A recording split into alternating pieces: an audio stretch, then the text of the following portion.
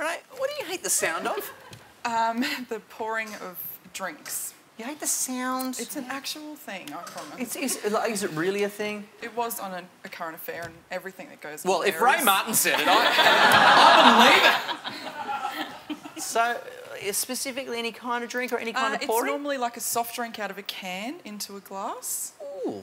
Just grinds me. Is it the glug glug glug glug glug Yeah. glug glug glug Yeah, glug, just glug, keep glug, going. glug, glug, glug? Yeah.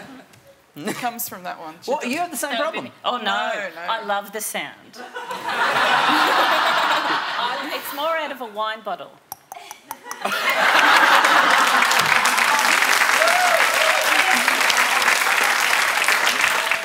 Did anyone else think that that was spot on?